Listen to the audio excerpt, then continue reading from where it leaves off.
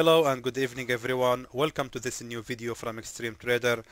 In this video I had to explain um, a myth that we have in Forex. It says always that a trend is your friend.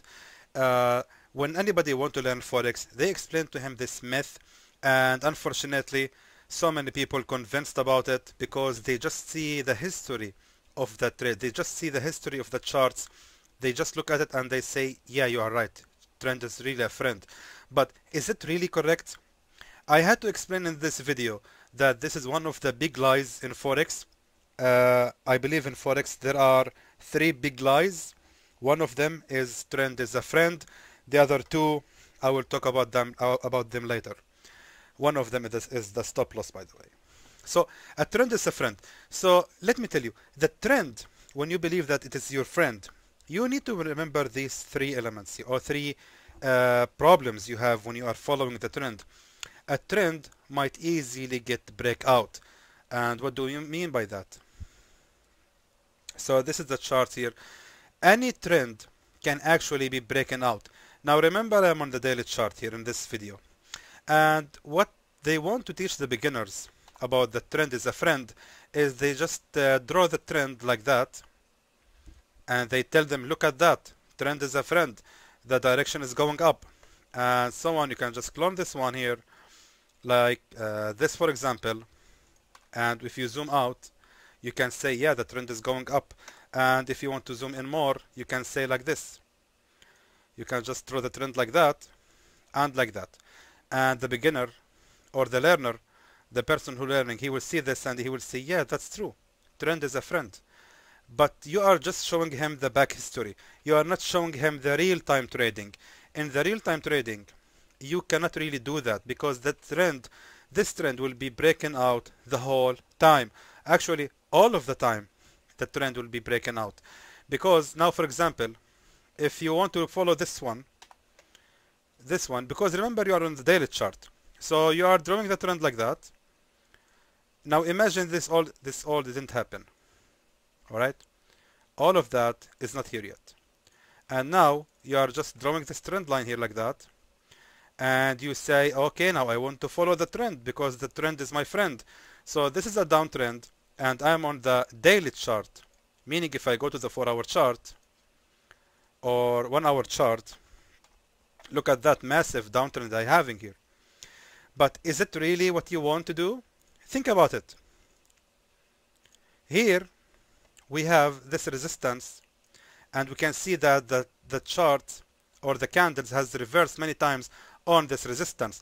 Now the general direction is down but the problem when you say trend as a friend do you really think uh, you should actually follow the trend? Because for example let's say now I am for example uh, right here okay? Now I'm trapped in this downtrend and I'm here and I say okay trend is a friend.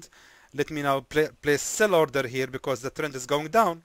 And what's happening is actually the market is going up. You expect it to go down but it's going up against you. So let's see how many pips you would have lose if you sell here. That is about 24 pips. Since you are a scalper that is not really gonna work.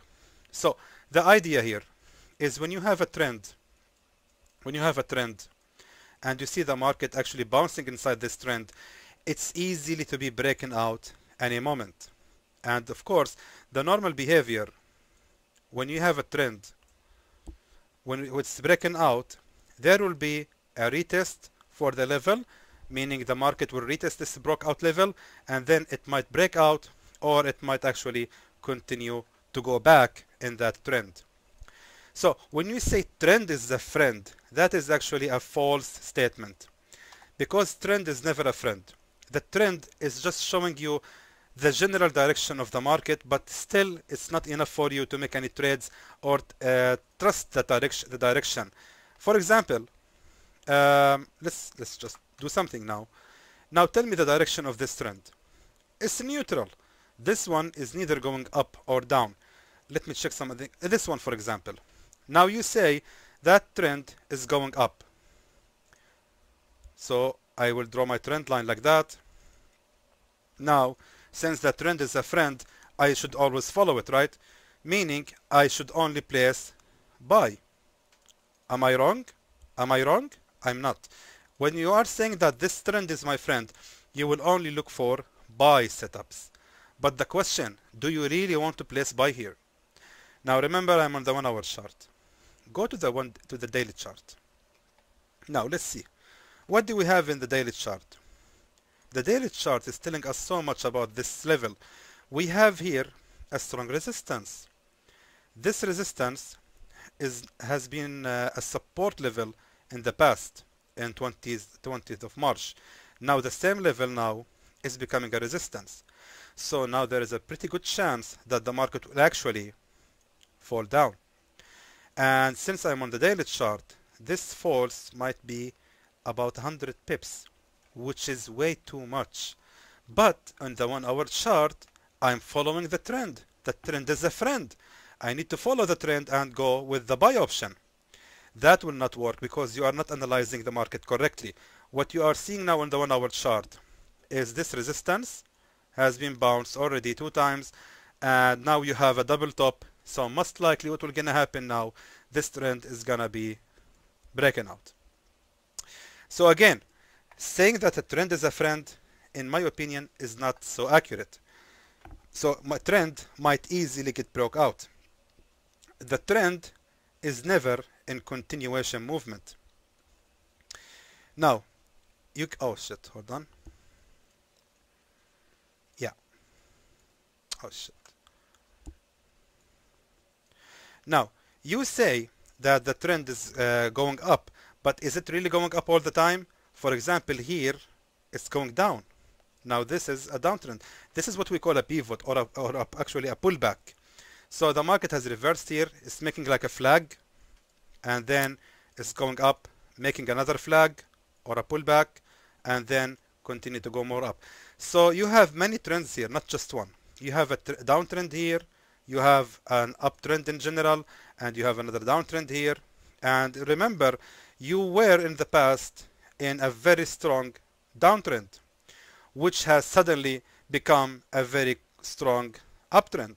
So if I want to follow your statement that the trend is my friend, I should have placed sell here. Because let's imagine all of that didn't happen. The movement of this trend can never be always down. Now you say trend is a friend, so of course it's my friend. It has to continue going more down. Of course that is wrong. The market is never in the same direction always. So it's not enough for you to just follow the trend blindly and think that you can actually win all of your trades. Trend is varying between time frames. Now when you say trend is a friend, now for example, I'm on the one hour chart and I am on uptrend. Alright? Go to the 50 minute time frame and now what you have is actually neutral. It's neither up or neither down. Go to the daily chart, you are actually now on a downtrend. So that the down the trend is varying between time frames. Now the question, which uh, one should you follow? Is it the bigger time frame? Is it the smaller time frame? Now the answer of course is the bigger time frame. But again, what I'm trying to tell you in this video that trend is not your friend. You should not just follow the trend blindly, especially on the bigger time frames.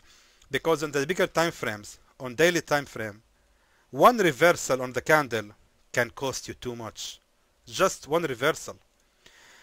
So let's say, for example, here, this is downtrend. Does anybody have any argument about that? Can we all agree that this is a downtrend? Good. So this is a downtrend, okay? Now let's see. On this downtrend you are talking about, let's see this candle here, the green candle. How many pips did it move up? We move, we are talking about almost 140 pips 140 pips that the candle has moved and you are telling me that the trend is a friend even though you are now on a downtrend now of course what I'm trying to tell you in this video that you should always consider your entry point that they are sh they should be logic. Don't ever enter here thinking that the trend is a friend meaning I should be always making profit. Now uh, maybe you are telling me come on Salah nobody will enter with the sell order on this support. Okay, let me follow with you. uh, for example you want to place sell here. Okay now yeah this is a downtrend and I want to place sell on this resistance here but the market has went up against me now I'm on the daily chart. So how many pips are we talking about if I go against it? We're talking about almost 50 pips. The market has moved against me 50 pips and that is of course as we know it's really too much.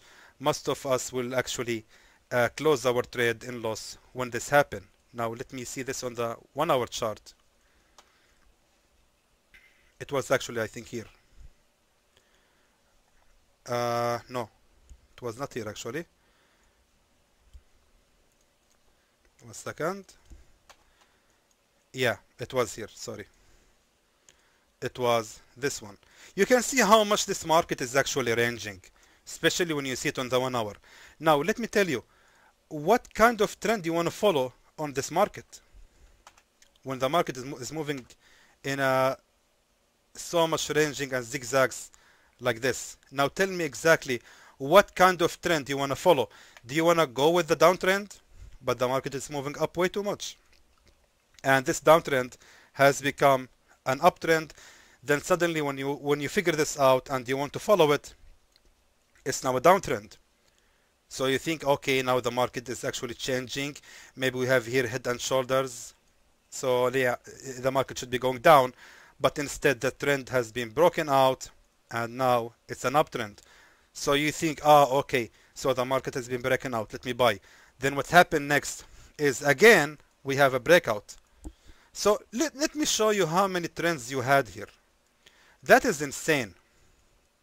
Following any trend here can actually ending in wiping your account because you can never guess when this market is going to reverse but but however however let me now go to the good part of this video now so who is your true friend?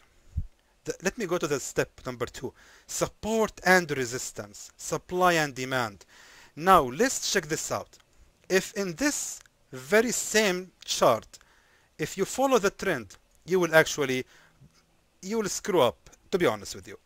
But however if you follow my rules and follow the support and resistance support and resistance is your only best and true friend that you will ever get in your trading journey so let me place a support or resistance line here now let's check how much this line or this level has been respected along this uh, massive or messed up chart so we have here a support. This support after the breakout has become a resistance. So we have attempt number two here and even attempt number three. After the breakout, this resistance has become the new support. Then there was the breakout and then this support has become a resistance with two attempts. Then we have here, this resistance has become actually here, we can see a small support and this support also became a resistance and this resistance kept the position as a resistance do you see what I'm trying to tell you that if you follow support and resistance rules the one you have seen in my videos you will actually find it very easy to read this market even though it's really messed up. Now this is a resistance line. Let me move it down to a support line. Now let's see. This was a support here a support here as well and even here. And now after the breakout it became a resistance. After the resistance it has been breaking out and now it's becoming another support and it was here as a resistance. And we see here the breakout. This support became a resistance here and a resistance here. After the breakout this resistance has become a support then another breakout. Uh, do you see what I'm trying to tell you? This support and resistance policy is the one who is truly your friend.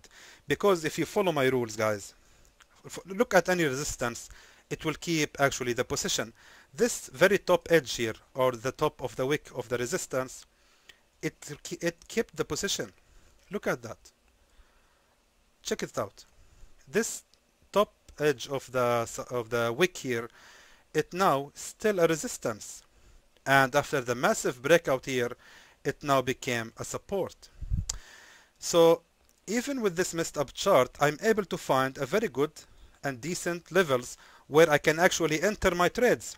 I can actually enter my trades here and if I'm following the hit and run rules I will exit always with a profit because if you enter for example you place buy here now this resistance kept its, pos its position as a resistance. Now if you follow the rules when you place sell here you should exit at the nearest support which is here.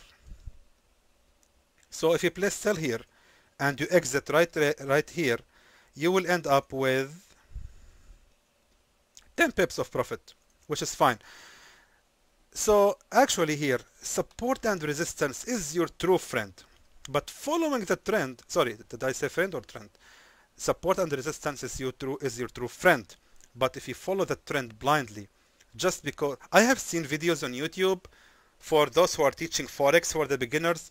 They are just entering any trade blindly on uptrend or downtrend. They just see a downtrend like that and they say guys you know the trend is a friend so I will just place sell here.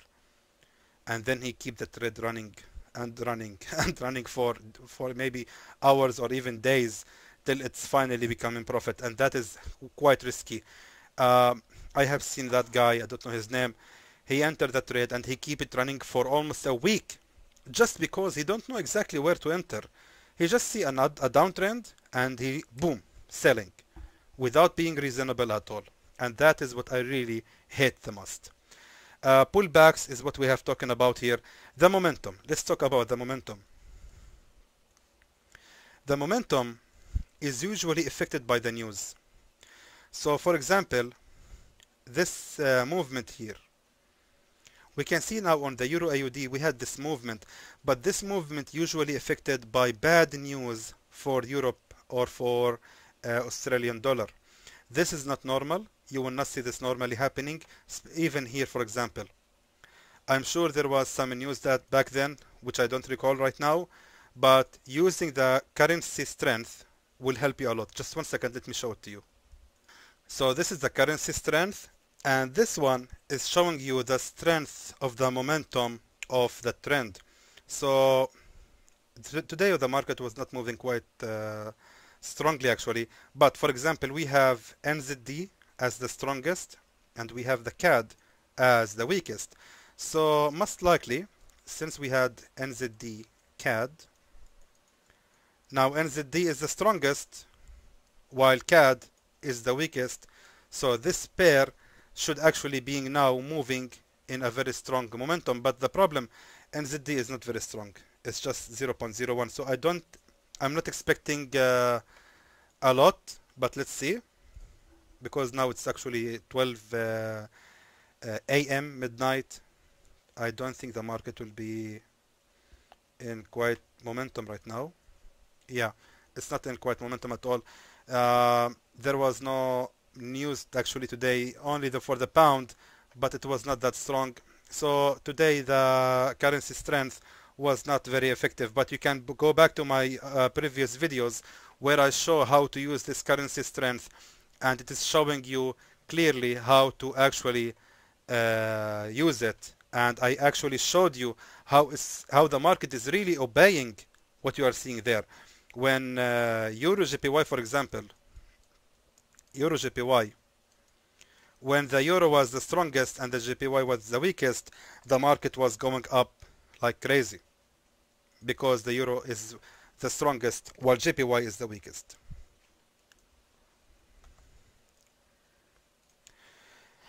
Now, let me talk about the most important thing, the proper money management. That is your true friend.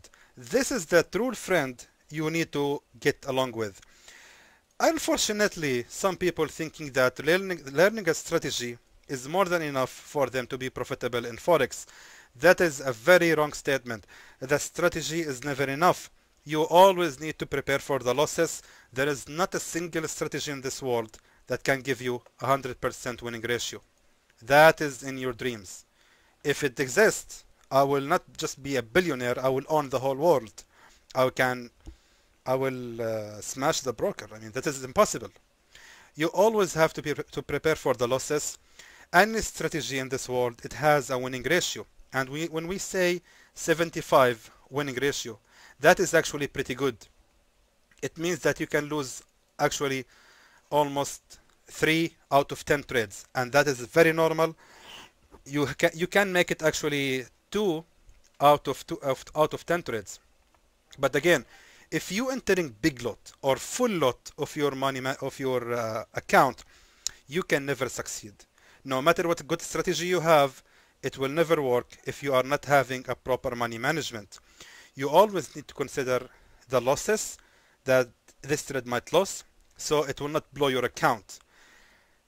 That is my message for you guys which I really wanted to share with you because I wanted to think about this statement here. Your true friend is the momentum meaning when the market actually going up because of high impact in news. For example uh, the Brexit is the best example we can bring here the Brexit when it happened the market the GBP went down like sinking like Titanic like there was no tomorrow. So many people who, ha who have sold uh, GBP at that time they actually got rich. They entered at not, it wasn't really important the level they entered with the sell order because the momentum was really strong the pound was falling and sinking so it just kept going down and more down support and resistance the pullbacks the pullbacks is the reversals. The pullbacks is actually the reversals when you mark your support and resistance. So if you follow the hit and run rules it doesn't really matter. For example let me just tell you this is a this is a resistance and this is just a pullback. Then the market continue to go more up. So if you follow hit and rules uh, sorry hit and rules hit and run rules you enter here at the top of this resistance you exit your trade at the nearest support or resistance which is right here. So you can actually get out with decent amount of profit uh, with about 15 pips of profit. That is what I'm trying to tell you. If you follow hit and run rules you will always be in profit. And that is your best friend guys to follow support and resistance to follow the power or the strength of the, of the currency to find the pullbacks and always use a proper money management. I don't want to make this a long video. I just had to explain this part that never ever just follow the trend blindly just because it's a trend and you thinking that the trend is your friend. The trend is never your friend is not the friend you need. What you need is these five elements. Apply them and follow them and you will be uh, hopefully successful in your trading journey. So guys I hope that was informative to you and I would like to thank you for watching